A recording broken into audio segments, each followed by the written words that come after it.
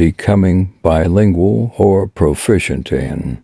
Two languages requires dedication, practice, and exposure.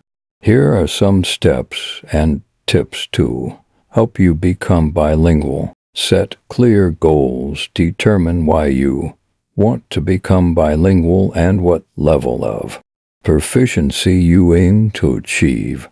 Having specific goals will keep you motivated and focused. Choose the right language. Select a language that you are genuinely interested in and that will be useful to you personally or professionally. Immerse yourself. Surround yourself with the language as much as possible.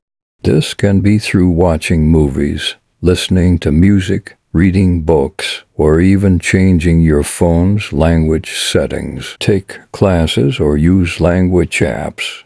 Enroll in language classes or use language learning apps like Duolingo, Rosetta Stone, or Babbel to systematically build your vocabulary and grammar skills. Practice regularly. Consistency is key. Dedicate time every day to practice speaking, listening, reading, and writing in the target language.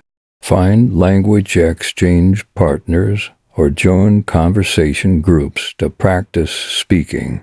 Learn vocabulary in context. Instead of memorizing isolated words, learn vocabulary and phrases and sentences to understand how words are used naturally. Focus on speaking.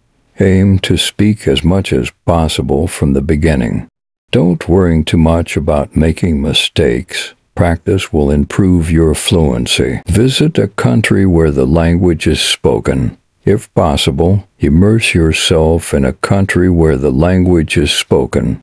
This will give you real-world practice and expose you to native speakers. Be patient and persistent. Learning a language takes time and effort. Stay patient with yourself and keep practicing consistently. By following these steps and staying committed to your language learning journey, you'll be well on your way to becoming bilingual. Remember, the key is consistent practice and exposure to the language in various contexts.